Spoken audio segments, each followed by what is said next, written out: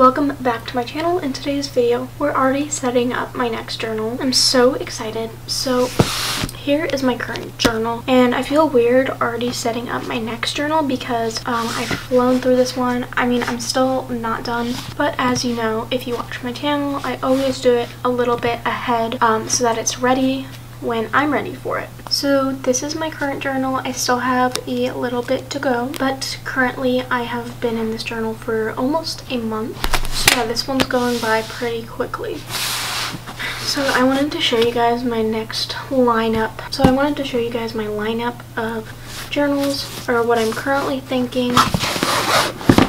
Thinking that this journal is going to be my next journal, so the one we're setting up today. This is what it looks like. It is grid paper, which is my favorite, and it's kind of thin and it's a hardcover. So I got this journal from my Paper Gang subscription box. I don't know what month this was from. It was from the Space Theme month. Was that August or September? I think it was from September. So I got this in the September Paper Gang box. And so I think I'm going to use it as my next journal. But here are the other journals that I have currently lined up. This journal I got from my most recent Paper Gang box, which is the October box. It's pretty small, so this would be a quick journal, and it's small like this too. I don't know what size, but it has dotted paper.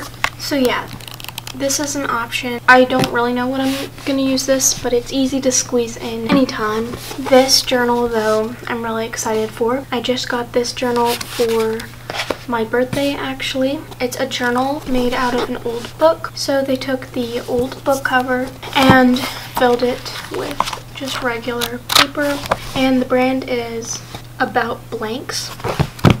Also, it's like such a cute size, so I'm really excited about this one. We'll see how it goes with this blank paper. I'm thinking of using this one after whatever one I choose. Well, after this one if I go with it. And then this journal I just bought and I'm obsessed with it. This journal, I mean, it could end up being like the new year when I end up using this, but I found it at Michael's and it's from the Recollections brand. As you can see, there's different types of paper in it. And also the binding is pretty cool. But I do like how it's like a plain cover, so that will be fun to decorate with stickers. And I like the pages in this in the inside. It's definitely made for journaling. It's made for mixed medias. There's white paper and there's a section of craft paper and then it goes back to white paper and I love the feel of the paper in this. And I just love how it switches to craft paper. I just think it's so cool. So I'm excited to use this, but I don't think I'll get to it quite yet. So the current lineup is this journal, then this journal, and then this journal and then I'll squeeze this journal in possibly between these two or between these two. I feel like it might be nice between these two just to give myself a little break because this will be a little longer and then this is going to be a long one. We'll see how that changes. Right when I got this journal from my Paper Gang box, I knew I wanted to use it as my next one. So I think that's what we're gonna go with today. One sticker I know I want to use is this I'm voting sticker, even though I'm too young to vote. It came with some Glossier stuff. I got some Glossier stuff for my birthday, and so this is the sticker they gave with it. And so this journal I'll be using during the election. So I thought this would be very on theme. Okay, so here are my other stickers, and I guess we should get right into picking out our stickers to use. I got some new stickers from some Etsy shops, so I'll have to find those and link them down below. These three stickers that say, tell your cat I say hi. So cute. I'm a huge cat person, so these are perfect for me. This also came from the same place, and it says, ask me about my cat. From a different Etsy shop, I got these ones. There's like the Powerpuff Girls and Haku from Spirited Away. And of course I have my All Things Lily Ann stickers, like always. That could be a cool one to use. This could be cool. I'm debating what to put where, or what to even put on this one. I have these cute little Lego stickers. I'll put the uh, shop down below or I'll put the name on screen also. I just don't know it on the top of my head so I'll have to figure that out. I don't even know if I want to put this one on here. I am really liking these two for this and feeling this one too. If you don't know what this is, it's like kind of like the drawing that Billie Eilish made of like her soul. What she thinks it looks like. I like these two and that one. And I'm thinking maybe I'll incorporate these Legos. Maybe I could do maybe I could put Buttercup on here. I don't know. I don't think I want it super full. I think maybe we might go more simple Okay, let's just start placing some of these so I can get an idea of where we are. I'll just put down the ones I'm sure of so far. So the first one I'm putting down is from All Things Lily Ann. I am obsessed with this design. I think this is one of my favorites of hers. I debated getting two. Not only is it a quote I love, but I also love the design and the colors and stuff. And then, like I said, this sticker is from Glossier. I just got it with my purchase. And then, and then this sticker is from Redbubble.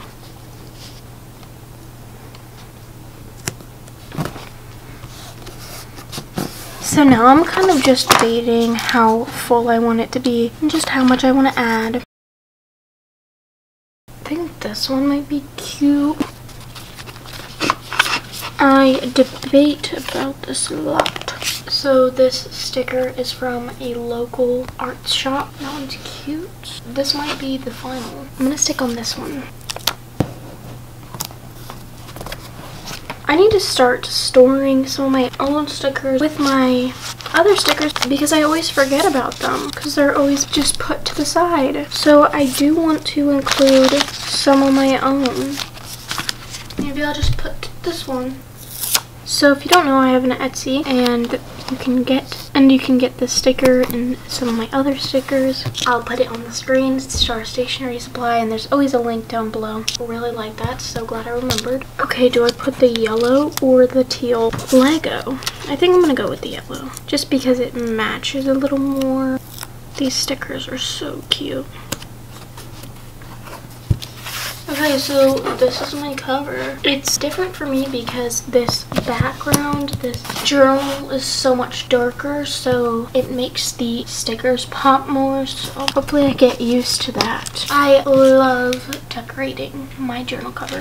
It just makes it so much more fun. Now we worry about the inside. So what I'm thinking for putting the cover pages is I found this little journal thing at Five Below and I think it is so cool. So it has all these cool like collaged pages and it has different prompts on it and stuff and I was thinking that I could either use it normally or just cut things out of it because there's some like cool things and so one of the things is just like the title page and I want to put this as the cover page okay let's trim this a little bit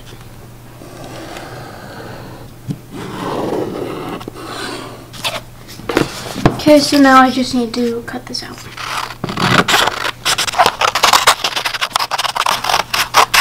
So I'll glue this on and there'll still be a little to trim just because the outside cover isn't the same size as the pages.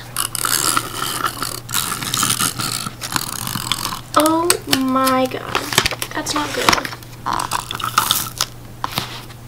So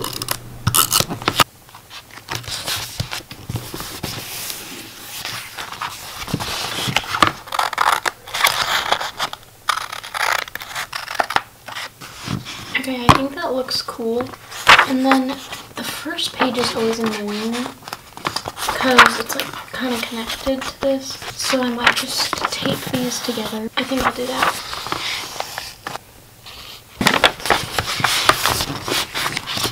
I'm gonna write my name in this gold pen. This is the Pilot G-207. And this is like the gold. Then I think I'm gonna add some gold stars to this page just to schnazz it up. This will just add some shine to the page, which I love. Okay, so this will be journal number six, I believe. Let's see. This one is journal number five, so this one will be journal number six. So these two papers I got from Michaels. You can get them from really any craft store in the section where they have individual sheets of paper. Where I go, these sheets of paper normally cost 79 cents each and they're a great way to snazz up your journal. So I'm using the craft paper to put my journal number six and the start and end date and then this is just a little decoration piece. This is the glue, glue stick. It's not the best glue stick I've ever used. But it's fun to have a square glue stick. I don't really understand why glue sticks weren't designed that way originally. It just makes sense for like corners and stuff.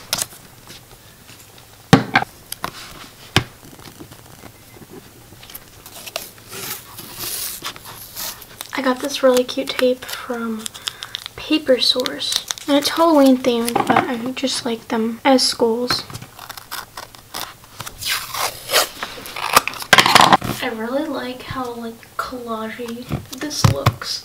I don't know if I'm going to really put anything over here. I'll probably put some stickers here over time, but I'm not going to do it right now. It's now time for the final look at this journal.